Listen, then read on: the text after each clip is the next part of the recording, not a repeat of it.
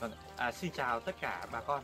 Hôm nay thì tôi sẽ giới thiệu cho mọi người được biết một cái cách mà tích trữ nước tại hộ gia đình ở các hộ gia đình tại huyện tổ Chùa của tỉnh Điện Biên à, là những cái khu vực vùng núi cao. Các hộ gia đình thường sống trên những cái đỉnh núi. Vấn đề nước sinh hoạt à, là một câu chuyện rất là nhiều cuộc trao đổi thảo luận. Tuy nhiên thì có những chỗ mà thừa nước thì vẫn thừa, có những chỗ thiếu nước thì vẫn thiếu, hoặc tại một hộ gia đình thì có những lúc thừa thì vẫn thừa có những lúc thiếu thì vẫn thiếu. Và hôm nay chúng tôi đang đứng tại một hộ gia đình tại xã Xí Quỳnh. À, các anh chị có thể thấy các hộ gia đình đã có được cái nguồn nước dẫn ra tại hộ rồi. À, tuy nhiên thì cái dụng cụ chứa nước chưa chưa có hoặc là à, rất ít. À, ví dụ như hộ gia đình này họ luôn họ có một cái xô một cái son để dùng chứa nước.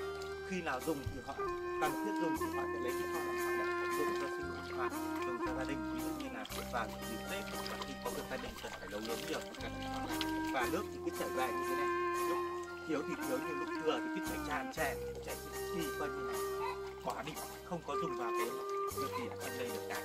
À, hôm nay thì tôi có gặp có một anh à, anh Mạnh ở tại xã Khánh Trình thì tôi cũng có một trao đổi ngắn với à, anh Mạnh. À, chào anh. À, ở trong thôn của chúng ta thì có nhiều hộ gia đình có cách. Có nước dẫn về có nước dẫn về hộ gia đình. Hộ này không ạ? Có trong thôn có đa số nhiều hộ có. À, có nhiều hộ gia đình thì có cái à, két chữ nước chưa?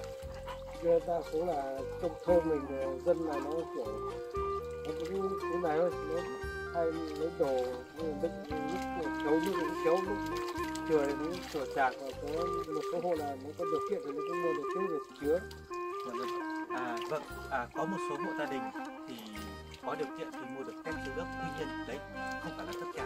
Và chúng tôi cũng mong muốn rằng trong thời gian tới các hộ gia đình sẽ có cách à, tích trữ nước được nhiều hơn. Ví dụ mỗi hộ gia đình sẽ phải có một cái két chứa nước độ khoảng tầm từ 1 đến 2 mét khối trong một hộ gia đình từ 4 đến 6 người.